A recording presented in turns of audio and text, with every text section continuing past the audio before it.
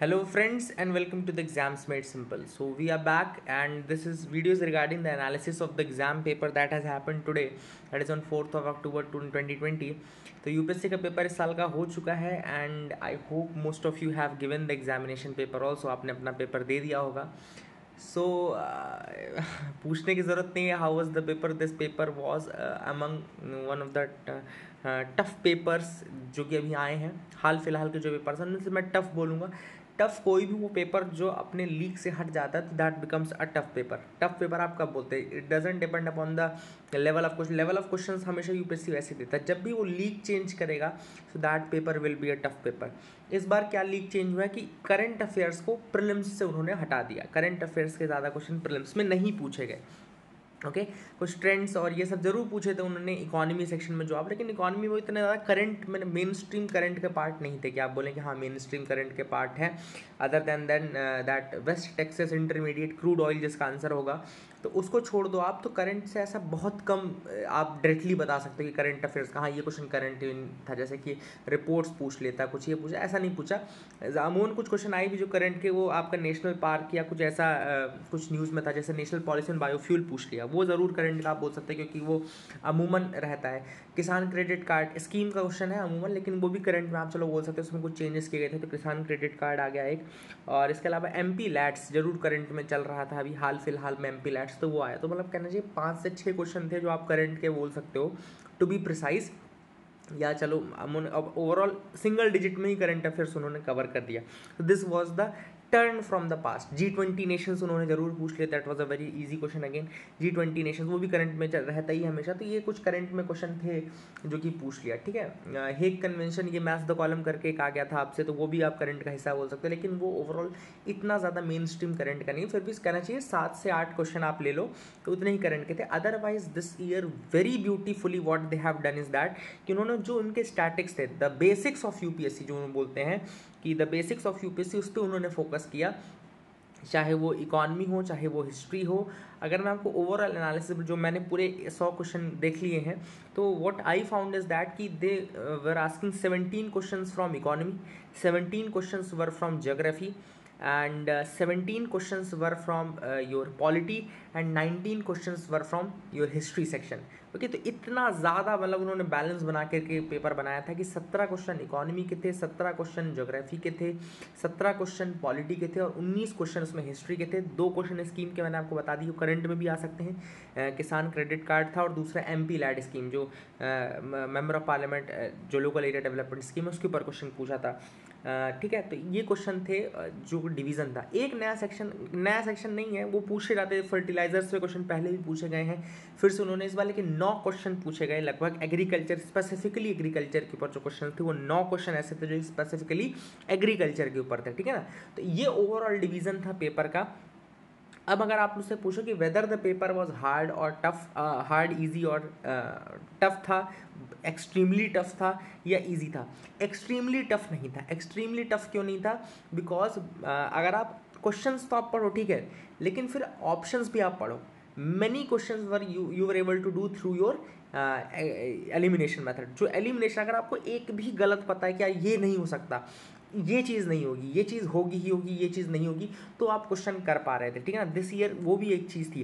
तो extremely tough नहीं था, लेकिन पेपर वॉज़ टफ पेपर का लेवल थोड़ा टफ था। ईजी नहीं बोलेंगे अपन ईजी पेपर नहीं होता ऐसा। ना ही इंटरमीडिएट भी नहीं बोलेंगे। It was a tough paper but it was not extremely tough अब देखो, कई लोग पूरे कोई मतलब नहीं रह गया अटैम्प्ट अच्छे नहीं हुए, साठ अटैम्प्ट हुए, पैंसठ अटैम्प्ट हुए। जब पेपर टफ है, सिर्फ़ आपके लिए टफ नहीं है। This paper is not tough just for you ये पेपर मेरे लिए भी उतना ही टफ है। अगर मैं एग्ज़ाम क्वालिफाई करूँगा अभी तो हो सकता है कट ऑफ़ से पाँच, दस नंबर ही ज़्यादा नंबर लेके आऊँ। 200 में 200 थोड़ी आएँगे मेरे कट ऑफ़ में। ऐसा तो नहीं है आई एम नॉट क्लेमिंग कि मैं 200 नंबर ला सकते हैं मैं 150 ला लूँगा 140 ला लूँगा, ऐसा बिल्कुल नहीं होगा। 140 भी आए मेरे, लेकिन इस साल नहीं आते। इस साल अगर निकालते तो 110 115 110 105 106 ऐसे भी निकल सकता था। तो पेपर टफ था। पेपर ईजी नहीं था। पेपर का लेवल इतना ईजी नहीं था कि आप बहुत आसानी क्योंकि मॉडर्न इंडिया जो क्वेश्चन पूछे वो भी बहुत ईजी नहीं पूछे गए। उलगुलन ज़रूर ईजी पूछा गया। उलगुलन तो मैंने आपको ऐसे ही पढ़ाया हुआ है। उलगुलन पूछ लिया तो उन्होंने। कुछ एक एक दो ईजी भी थे। कुछ मैथ्स द कॉलम टफ ज़रूर पूछा था और इस तरीके की चीज़ें थी इस बार पेपर में कि आपका जो जो अब आप एग्जैक्टली पूछे कट ऑफ़ कितना होगा। तो देखो एग्जैक्ट कट ऑफ़ कोई नहीं जानता, ना ही मैंने कोई एनालिसिस किया है कि मैंने बहुत ज़्यादा पोलिंग किया हो, किसमें कितने, किसके आ रहे हैं, ऐसा नहीं है। लेकिन जो पेपर का टफनेस लेवल है या पेपर जो मैंने दिए हैं पास्ट एक्सपीरियंसेस से बता रहा हूँ, जैसे मेरे जैसे जैसे नंबर आते थे, मैं जितने नंबर से क्लियर करता था, अगर मैं इस बार का पेपर बोलूँ तो इस बार के पेपर का कट ऑफ़ जो जाना चाहिए, वो नाइन्टी से नाइन्टी के बीच मतलब टू डिजिट का ही रहेगा जनरल कट ऑफ़ उसके बाद दूसरी कैटेगरीज अपने हिसाब से एडजस्ट कर ले नंबर जैसे उनका रहा हो 2018 के आसपास का कट ऑफ़ लगभग टच करेगा। मेरे हिसाब से 2018 के आसपास के कट ऑफ़ पे टच करेगा।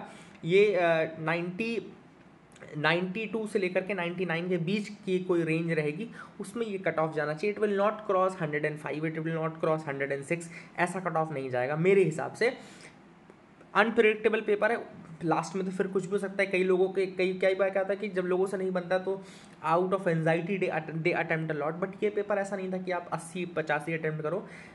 Sixty five to seventy five या sixty five to eighty will be a good attempt sixty five to seventy five will also be a good attempt दस, पंद्रह क्वेश्चन ऐसे तो बिल्कुल टच करने हो कि नहीं थे। आप बहुत मुश्किल है कि आप टच कर पाते।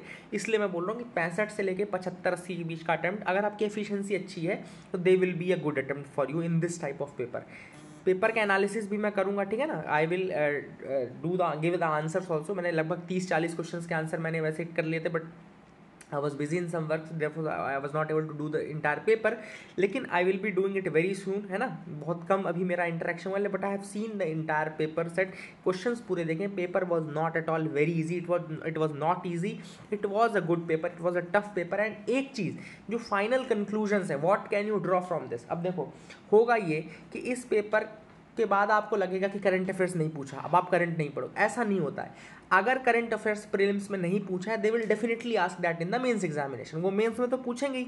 मेंस तो वो स्टैटिक से नहीं बनाएँगे।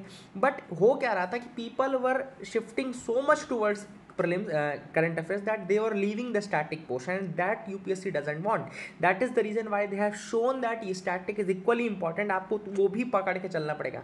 करंट जितना आप पढ़ रहे हो, उतना ही स्टैटिक भी पढ़ना पड़ेगा। ना इट इज़ योर हेड कि आप कब टाइम निकालते हो, ठीक है ना? अदरवाइज़ एक वन थिंग और another thing will be left and कभी आपका प्रिलिम्स नहीं निकलेगा, कभी आप मेंस नहीं निकाल पाओगे। तो इसलिए आपको ना ही स्टैटिक छोड़ना है, ना ही करंट छोड़ना है। You have to focus on both हम भी कोशिश करेंगे कि अपने आप को रिवाइटलाइज करें, कुछ नए तरीके से स्टैटिक भी कराने की कोशिश करूँ।